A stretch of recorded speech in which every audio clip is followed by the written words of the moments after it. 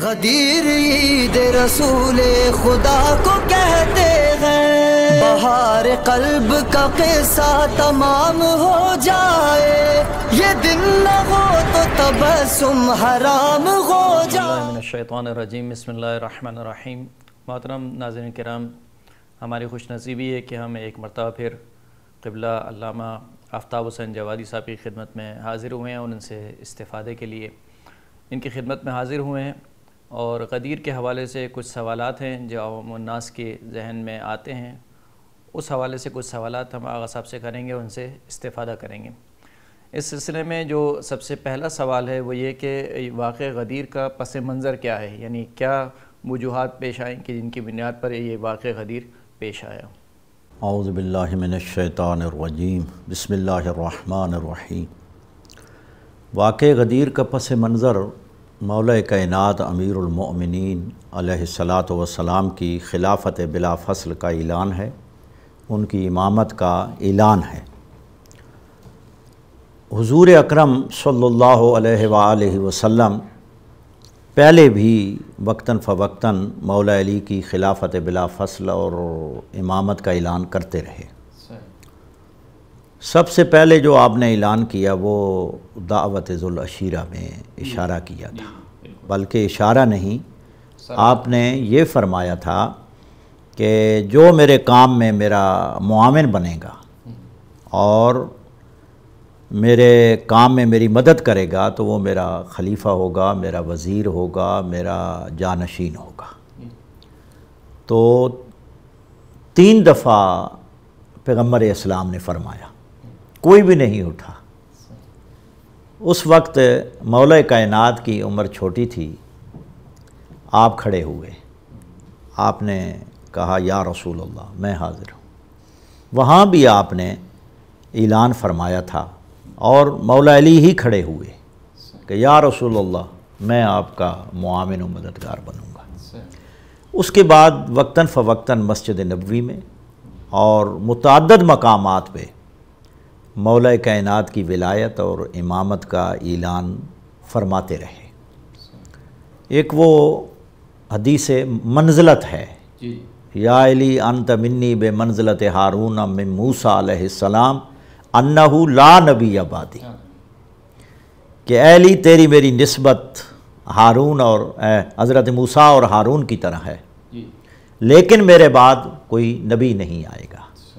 यानी ये मौला अली की इमामत मुतसिल इमामत है, यानी इत्तिसाल है नबूबत के साथ। इसमें मुस्तना सिर्फ़ किया गया है नबूबत को, कि बाकी तमाम जो अवसाफ़ हैं, सिफ़ात हैं या मनसब हैं, वो आपके लिए हैं हारून की तरह।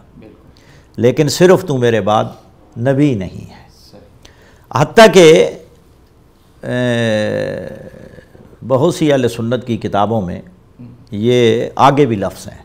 ये मेरे पास किताब सुन्ना इमाम इबन हाफिज़ अबू अबू बकर, अमर इबन अबी आसिम शैबानी, जिनकी वफ़ात दो सौ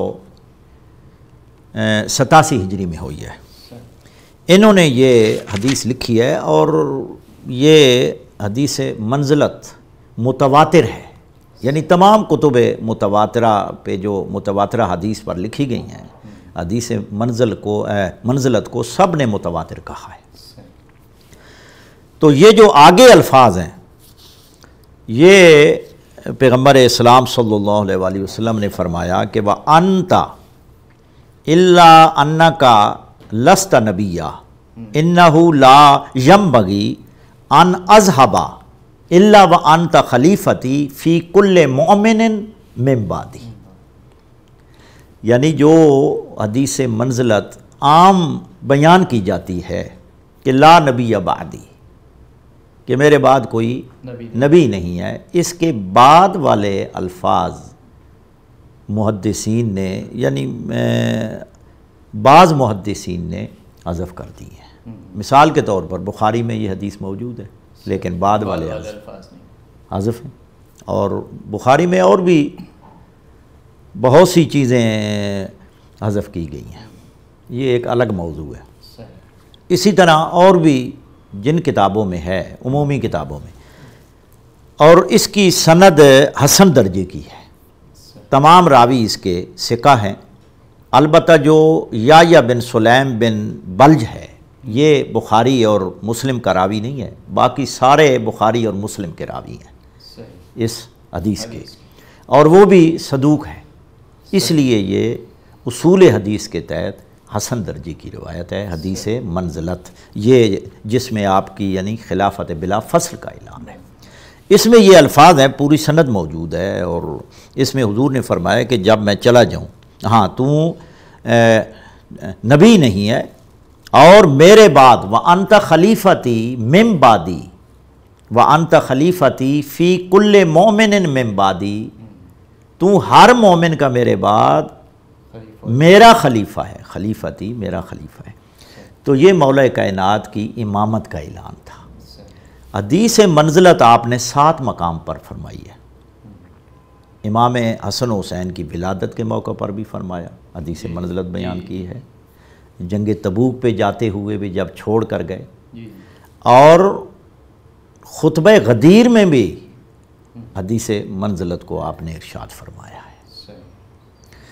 तो इस एतबार से ये बिल्कुल बेसराहत यानी मौला अली की इमामत का ये ऐलान था। यानी आपने साहब कराम को ये आपने फरमाया अपनी उम्मत को फरमाया है। उसके बाद मुतद मुख्तलिफ़ मकाम में मौल कायनात की अंत मिन्नी अंत वली फ़ी कुल्ल मोमिन मिमबादी। ये भी इर्शाद फरमाया। लेकिन गदीर खुम में गदीर खुम में मौल कायनात की इमामत का ऐलान था कि हज पे तमाम लोग मौजूद होते हैं तमाम मुसलमानों का इज्तम होता है। तो अल्लाह ताला ने पैगंबर इस्लामी कदर सल्लल्लाहु अलैहि वसल्लम को इरशाद फरमाया कि मेरे हबीब आज हज़रत अली की खिलाफत का ऐलान कर दे। तो इस वाक़ गदीर का जो पस मंज़र है वो अमीर अलमोमिन सलाम की खिलाफत बिला फ़सल का ऐलान था। जी।